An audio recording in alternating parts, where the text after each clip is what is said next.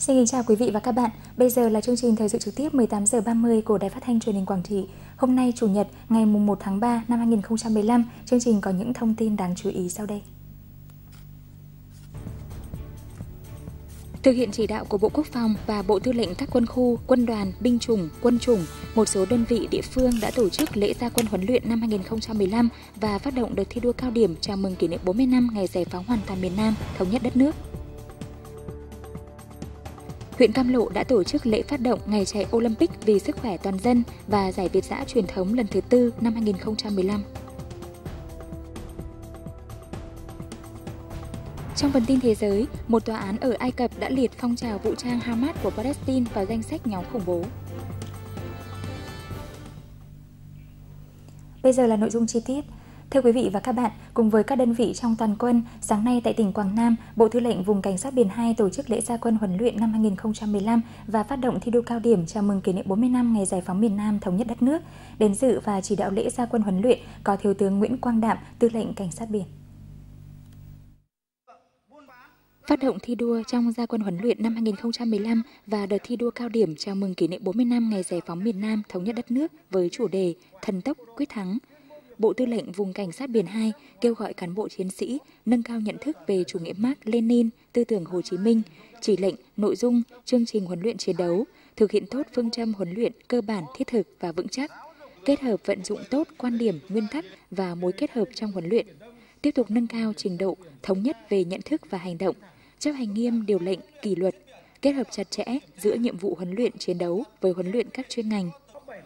Với khí thế thi đua của mùa huấn luyện mới, với tinh thần đoàn kết, sáng tạo, khắc phục những khó khăn, quyết tâm huấn luyện giỏi, kỷ luật nghiêm, tin chắc rằng Bộ Tư lệnh Vùng Cảnh sát Biển 2 sẽ hoàn thành xuất sắc nhiệm vụ huấn luyện năm 2015 và đợt thi đua cao điểm, góp phần xây dựng cảnh sát biển Việt Nam cách mạng, chính quy, tinh nhuệ và hiện đại, xứng đáng là lực lượng nòng cốt, lực lượng trực tiếp trong duy trì thực thi pháp luật trên các vùng biển của Tổ quốc. Nhân dịp này, đồng chí Thiếu tướng Nguyễn Quang Đạm, Tư lệnh Cảnh sát biển đã trao cờ đơn vị huấn luyện giỏi năm 2014 và danh hiệu đơn vị vững mạnh toàn diện năm 2014 của Bộ Quốc phòng cho Bộ Tư lệnh Vùng Cảnh sát biển 2. Tại tỉnh Quảng Trị, cũng sáng nay Hải đội 202 thuộc bộ tư lệnh vùng cảnh sát biển 2 đã ra quân huấn luyện với phương châm cơ bản, thiết thực, vững chắc, giúp cho mọi cán bộ chiến sĩ nắm chắc và khai thác sử dụng thành thạo vũ khí trang bị kỹ thuật mới, hoàn thành tốt chức trách nhiệm vụ được giao. Chấp hành mệnh lệnh huấn luyện chiến đấu của Tư lệnh Cảnh sát biển Việt Nam. Bước vào mùa huấn luyện năm 2015, mỗi cán bộ chiến sĩ Hải đội 202, Bộ Tư lệnh Vùng Cảnh sát biển 2 đều xác định rõ đây là một nhiệm vụ hết sức quan trọng và thường xuyên, Chính vì vậy, ai cũng cố gắng làm tốt mọi khâu, từ thực hành điều lệnh đội ngũ cho đến nắm chắc và khai thác sử dụng thành thạo các loại vũ khí, trang bị kỹ thuật mới, vận dụng tốt kiến thức trong huấn luyện chiến đấu vào tổ chức thực hiện nhiệm vụ bảo vệ chủ quyền biển đảo và nhiệm vụ tuần tra, kiểm soát, kiểm tra, thực thi pháp luật trên biển. Bước vào mùa huấn luyện năm 2015, cán bộ chiến sĩ của Hải đội 202, đặc biệt là lực lượng dưới tàu chúng tôi luôn xác định quyết tâm khắc phục mọi khó khăn gian khổ, đặc biệt là bám sát cái phương châm huấn luyện cơ bản thiết thực vững chắc, sát đối tượng, sát địa bàn hoạt động để góp phần hoàn thành thắng lợi nhiệm vụ huấn luyện năm 2015. Hiện nay để đáp ứng yêu cầu nhiệm vụ thì công tác huấn luyện là một trong những cái công tác quan trọng hàng đầu. Nó phải xuyên suốt và cả một cái quá trình. Còn đối với riêng năm 2015 thì được Đảng ủy, à, Bộ Tư lệnh à, Cảnh sát biển Việt Nam cũng như Bộ Tư lệnh vùng Cảnh sát biển 2 đấy là xác định là nhiệm vụ trọng tâm và trên cái cơ sở đấy rằng là nhiệm vụ uh, huấn luyện là phải bám sát phương châm là cơ bản thiết thực vững chắc và mọi công tác là phải chuẩn bị từ đầu. Năm 2015, tình hình trong nước thế giới cũng như trên các vùng biển tiếp tục diễn biến phức tạp. Sự nghiệp xây dựng và bảo vệ Tổ quốc, bảo vệ chủ quyền biển đảo thêm lục địa, tuần tra kiểm soát, cứu hộ cứu nạn đã và đang đặt ra những yêu cầu hết sức mới mẻ, ngày càng nặng nề. Hơn ai hết, mỗi một cán bộ chiến sĩ cảnh sát biển quyết tâm huấn luyện giỏi, sẵn sàng chiến đấu, thực hiện thắng lợi nhiệm vụ trong mọi tình huống có thể xảy ra. Rèn giỏi, luyện nghiêm, sẵn sàng chiến đấu là một trong những nội dung trọng tâm của đợt huấn luyện năm 2015 ở Sư đoàn 968. Lễ gia quân huấn luyện và phát động đợt thi đua cao điểm Thần tốc quyết thắng được sư đoàn tổ chức vào sáng hôm nay. Đến sự buổi lễ về phía tỉnh Quảng Trị có đồng chí Nguyễn Hữu Dũng, Ủy viên Ban Thường vụ tỉnh ủy, Phó Chủ tịch Ủy ban nhân dân tỉnh. Về phía quân khu 4 có đại tá Nguyễn Đức Hóa, Phó chủ nhiệm chính trị quân khu. Trong đợt huấn luyện này, Sư đoàn 968 tập trung huấn luyện đồng bộ, chuyên sâu, kết hợp chặt chẽ sự huấn luyện quân sự với giáo dục chính trị, huấn luyện với cường độ cao, sát với nhiệm vụ, đối tượng, địa bàn và thực tế chiến đấu. Tập trung nâng cao chất lượng tổng hợp, sẵn sàng chiến đấu và chiến đấu thắng lợi trong mọi tình huống. Tôi sẽ cố gắng học tập, quyết tâm đạt được mục tiêu, luyện giỏi, rèn nghiên, sẵn sàng chiến đấu cao. Bước vào thực hiện nhiệm vụ huấn luyện năm 2015 quán triệt à, và chấp hành nghiêm mệnh lệnh huấn luyện chiến đấu của tư lệnh quân khu. Chúng tôi xác định huấn luyện là nhiệm vụ trung tâm hàng đầu để nâng cao chất lượng thực hiện nhiệm vụ của trung đoàn. Vì vậy, bước vào thực hiện nhiệm vụ năm 2015, chúng tôi đã tập trung làm tốt à, công tác huấn luyện cán bộ. Chúng tôi xác định đây là khâu đột phá để huấn luyện, rèn luyện bộ đội đạt kết quả cao nhất. Cho nên chúng tôi đã làm tốt chức công tác tổ chức tập huấn cán bộ, và xác định bước vào huấn luyện thì tổ chức huấn luyện tay chức rồi thông qua hội thi hội thao để từng bước nâng cao chất lượng huấn luyện của cán bộ lên một bước mới đáp ứng yêu cầu nhiệm vụ và từ đó tổ chức huấn luyện cho đơn vị đạt kết quả cao nhất. Trên cơ sở mệnh lệnh huấn luyện chiến đấu của tư lệnh quân khu, các cơ quan đơn vị ở sư đoàn 968 sẽ cụ thể hóa bằng các mục tiêu, chỉ tiêu sát với tình hình, nhiệm vụ huấn luyện của đơn vị với phương châm cơ bản, thiết thực và vững chắc.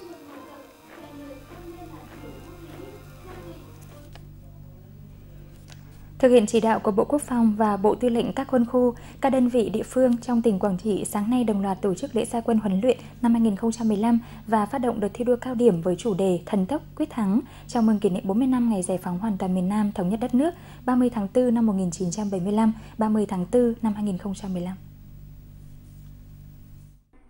Cơ bản thiết thực vững chắc là phương châm huấn luyện trong năm 2015 của Bộ đội biên phòng Quảng Trị, trong đó lấy giáo dục chính trị là chính, huấn luyện nắm vững nghiệp vụ, pháp luật chuyên ngành là then chốt, coi trọng huấn luyện đồng bộ và chuyên sâu, sát với nhiệm vụ địa bàn hoạt động của đơn vị, chủ động huấn luyện theo hướng cách mạng chính quy tinh nhuệ từng bước hiện đại, biết sử dụng thanh thạo các loại vũ khí trang bị có trong biên chế, luôn sẵn sàng chiến đấu và giải quyết tốt các tình huống xảy ra, kiên quyết bảo vệ Đảng, bảo vệ nhân dân, bảo vệ vững chắc chế độ xã hội chủ nghĩa và hoàn thành nhiệm vụ bảo vệ vững chắc chủ quyền lãnh thổ, an ninh biên giới quốc gia. Để công tác huấn luyện chiến đấu, giáo dục chính trị cho lực lượng dân quân tự vệ dự bị động viên đạt kết quả cao, Ban Chỉ huy quân sự huyện Đắk Rông đã quán triệt nhiệm vụ cụ thể cho Ban Chỉ huy quân sự các xã, thị trấn và các đơn vị tự vệ khối cơ quan trên địa bàn huyện chuẩn bị tốt thao trường, bãi tập, giáo án bài giảng, mô hình học cụ, vật chất huấn luyện, vận dụng tốt ba quan điểm, tám nguyên tắc, sáu mối kết hợp trong huấn luyện, đảm bảo 100% quân số tham gia huấn luyện đạt yêu cầu.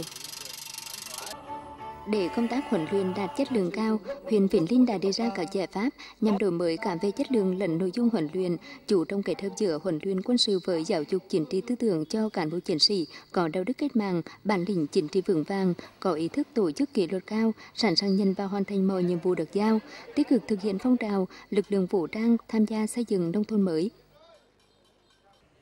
trên cơ sở quán triệt và triển khai có hiệu quả nghị quyết, mệnh lệnh, chỉ thị, kế hoạch huấn luyện của cấp trên, năm 2015, lực lượng vũ trang huyện Cam Lộ tiếp tục huấn luyện theo phương châm cơ bản, thiết thực và vững chắc đối với bộ đội thường trực và cơ bản, thiết thực, chất lượng, hiệu quả đối với lực lượng dân quân tự vệ và dự bị động viên.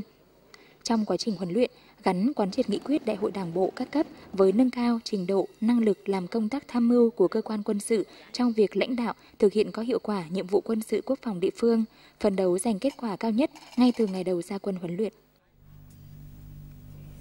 Thưa quý vị và các bạn, xác định sản xuất nông nghiệp năm 2015 gặp nhiều bất lợi, nhất là trong vụ đông xuân 2014-2015, hạn hán sẽ xảy ra, cũng như các loại sâu bệnh và chuột có khả năng nhiều hơn các vụ trước. Tuy nhiên với quyết tâm có một vụ đông xuân thắng lợi, huyện Gio Linh đang tập trung chỉ đạo các xã, các hợp tác xã triển khai nhiều biện pháp khắc phục. Sau khi nghỉ Tết Nguyên đán, tranh thủ thời tiết nắng ráo, bà con nông dân ở huyện Gio Linh đã khẩn trương ra đồng tỉa dầm chăm sóc lúa đông xuân. Nét mới trong vụ đông xuân này là huyện đã chỉ đạo các xã bổ trí lịch trình thời vụ thích hợp, gieo cấy sớm hơn mọi năm và cơ cấu giống cũng có sự thay đổi để ứng phó với khả năng hạn hán xảy ra, nên hiện tại những trà lúa đầu đang sinh trưởng và phát triển tốt. Điển hình như ở xã Giao Châu, khi nhận thấy tình hình khô hạn chỉ gieo cấy 174 hecta lúa với các loài giống ngắn ngày, còn lại một số diện tích không đảm bảo được tưới đã chuyển sang trồng các loài hoa màu. Ngay từ ờ, cuối vụ của hè thu 2020. À, 14 ừ, và đầu 2015 thì ủy ban nhân xã đã xây dựng kế hoạch phát triển khai đến các hợp tác xã à, trong toàn xã à, bằng các cái biện pháp quyết liệt từ cái công tác là bé bơ giữ nước, rồi là vận động bà con dân là tập trung chăm sóc và đặc biệt là để mình công tác diệt chuột để tập trung cho đảm bảo cái năng suất và sản lượng của vụ đông xuân. Vụ đông xuân năm 2014-2015, mực nước ở các hồ thủy lợi thấp hơn mọi năm, đặc biệt hồ Trúc Kinh chỉ đạt 45,5% dung tích thiết kế. Huyện Giao Linh đã thành lập ban chỉ đạo chống hạn. Trên cơ sở đó, sau khi khảo sát thực tế, đã chỉ đạo gieo cấy hơn 4.200 hecta lúa, còn lại những diện tích nhận định thiếu nước tưới đã chuyển sang trồng các loài cây hoa màu, chủ yếu là lạc, ngô và đậu đổ các loài. Với sự hỗ trợ của Trung ương và của tỉnh, nhất là trừ giá giống, toàn huyện đã chuyển đổi được hơn 200 hecta. Bên cạnh đó, huyện cũng đã đầu tư cải tạo 10 hecta đất vùng trũng, hoang hóa để người dân trồng lúa xen canh với nuôi cá, nhằm bù vào sản lượng vụ hè thu, nhiều nơi không sản xuất lúa được. Ngay từ vụ đông xuân thì đã à, thực hiện chuyển đổi à, một diện tích à, lớn sang các cây trồng như là lạc, rồi là ngô, À, để là cái là tiết kiệm nước. Rồi là tập trung à, chỉ đạo cho bà con à, ra đồng à, đúng thời vụ. À, để là cái thực hiện là một vụ à, đông xuân thắng lợi. Trong sản xuất nông nghiệp, việc nhận định và tìm các biện pháp để đối phó với thời tiết diễn biến phức tạp là khâu rất quan trọng xác định năm 2015 sẽ gặp nhiều khó khăn, nhất là hạn hán xảy ra. Huyện Giao Linh không chỉ tính toán cho vụ đông xuân mà còn xây dựng kế hoạch bố trí lịch trình thời vụ, cơ cấu giống và diện tích chuyển đổi phù hợp cả vụ hè thu. Đó là điều rất đáng ghi nhận. Ngày 28 tháng 2, huyện Cam Lộ đã tổ chức lễ phát động Ngày chạy Olympic vì sức khỏe toàn dân và giải Việt dã truyền thống lần thứ tư năm 2015. Ngày chạy Olympic vì sức khỏe toàn dân được huyện Cam Lộ tổ chức lần đầu tiên theo kế hoạch của Ủy ban nhân dân tỉnh Quảng Trị nhằm tuyên truyền vận động các tầng lớp nhân dân tham gia ngày chạy Olympic và thường xuyên tập luyện thể dục thể thao. Đây cũng là hoạt động nhằm đẩy mạnh cuộc vận động toàn dân rèn luyện thân thể theo gương Bác Hồ vĩ đại và hướng đến xây dựng ngày chạy Olympic trở thành một hoạt động truyền thống hàng năm. Sau đợt phản động này, Ủy ban nhân dân huyện Cam Lộ tiếp tục chỉ đạo các xã thị trấn hưởng ứng tổ chức ngày chạy Olympic trong dịp kỷ niệm Ngày Thể thao Việt Nam 27 tháng 3 năm 2015. Riêng giải Việt giả truyền thống năm nay có gần 200 vận động viên đến từ các cơ quan đơn vị trường học tham gia cùng tranh tài ở bốn nội dung thi đấu dành cho hai đối tượng nam và nữ với 40 giải cá nhân và 3 giải toàn đoàn. Tiếp theo chương trình là một điểm lại những sự kiện nổi bật đã diễn ra trong tuần qua.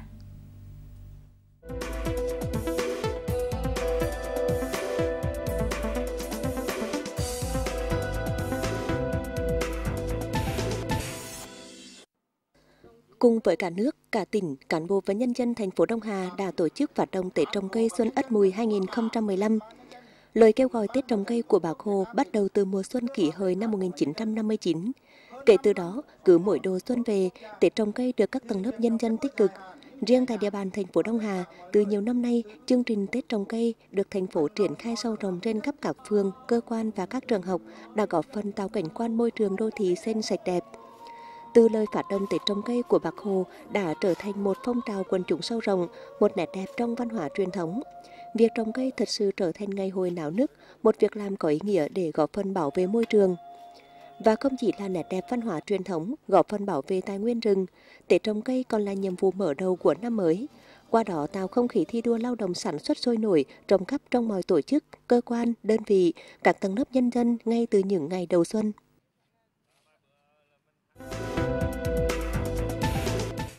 Ủy ban nhân dân tỉnh tổ chức cuộc họp giao ban đầu năm để đánh giá lại tình hình Tết Nguyên đán Ất Mùi và triển khai nhiệm vụ trọng tâm tháng 3 năm 2015. Nét nổi bật trong việc tổ chức Tết Nguyên đán Ất Mùi vừa qua là lãnh đạo tỉnh đã chủ động tổ chức thăm hỏi, trao quà Tết của Chủ tịch nước và của tỉnh với tổng trị giá trên 8,5 tỷ đồng đến với các gia đình chính sách thương binh liệt sĩ sớm hơn mọi năm. huy động tốt nguồn lực của nhà nước, cộng đồng doanh nghiệp và các cá nhân hảo tâm hỗ trợ tăng quà Tết cho các gia đình có hoàn cảnh đặc biệt khó khăn, phân bổ gạo cứu trợ đến các gia đình đặc biệt khó khăn để đón Tết, đảm bảo người người, nhà nhà đều có Tết, qua đó tạo không khí phấn khởi trong nhân dân. Năm 2015 là năm có rất nhiều sự kiện chính trị quan trọng của quê hương đất nước. Vì vậy, đồng chí Nguyễn Đức Chính, Phó Bí thư tỉnh ủy, Chủ tịch Ủy ban nhân dân tỉnh đề nghị sau những ngày vui xuân đón Tết, trên cơ sở các nhiệm vụ trọng tâm đã được xác định, lãnh đạo Ủy ban nhân dân tỉnh từ Chủ tịch, Phó Chủ tịch, các đồng chí ủy viên Ủy ban nhân dân tỉnh chỉ đạo các địa phương, các ngành, các lĩnh vực được phân công phụ trách, phấn đấu hoàn thành tốt nhiệm vụ trong năm 2015 trong đó, trọng tâm là tập trung triển khai thực hiện thông báo kết luận của Tổng Bí thư Nguyễn Phú Trọng và Thủ tướng Chính phủ tại các cuộc họp và các chuyến làm việc tại Quảng Trị. Tiếp tục thực hiện cải cách hành chính, cải thiện chỉ số CPI của tỉnh, chỉ đạo sản xuất vụ đông xuân, kế hoạch trồng rừng, trồng cây công nghiệp và các nhiệm vụ quan trọng khác. Ngành y tế đã tổ chức lễ kỷ niệm 60 năm ngày thầy thuốc Việt Nam. Suốt chặng đường 60 năm qua, những người làm công tác trong ngành y luôn tự hào rằng nhiệm vụ chăm sóc, bảo vệ và nâng cao sức khỏe nhân dân là nghề cao quý, là niềm vinh hạnh to lớn nhưng cũng đầy trách nhiệm và thách thức. Những người thầy thuốc luôn thực hiện nghiêm túc lời căn dặn của bác Hồ kính yêu, thường xuyên tu dưỡng, rèn luyện, không ngừng phấn đấu học tập để nâng cao trình độ y lý, y thuật và y đức. Hành trang của mỗi người thầy thuốc là chuyên môn, là lương tâm, là trách nhiệm và hết lòng vì người bệnh, Nhân dịp kỷ niệm 60 năm ngày thầy thuốc Việt Nam, Bệnh viện Đa khoa tỉnh Quảng Trị cũng đã tổ chức khánh thành khoa ông bướu với 20 giường bệnh trong 5 buồng bệnh, trong đó gồm một buồng cấp cứu, 3 buồng bệnh và một buồng hóa chất.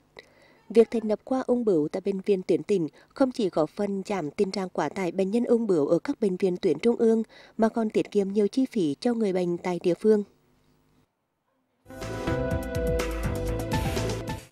Ngay trong những ngày đầu năm mới Xuân Ất Mùi 2015, lượng khách du lịch trong và ngoài nước đến tham quan các di tích lịch sử cách mạng tại tỉnh Quảng Trị tăng cao.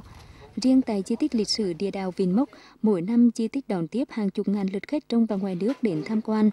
Đặc biệt, đầu năm 2015, Phó Thủ tướng Vũ Đức Đam đã ký quyết định nâng di tích địa đạo Vinh Mốc và hệ thống làng hầm Vĩnh Linh thành di tích quốc gia đặc biệt, càng làm tăng thêm ý nghĩa, giá trị lịch sử của công trình này.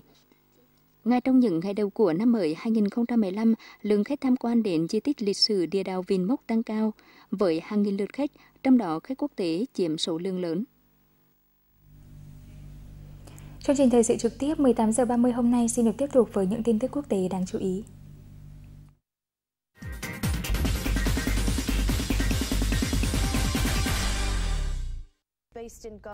Một tòa án ở Ai Cập hôm qua đã tuyên bố phong trào vũ trang Hamas của người Palestine là một tổ chức khủng bố.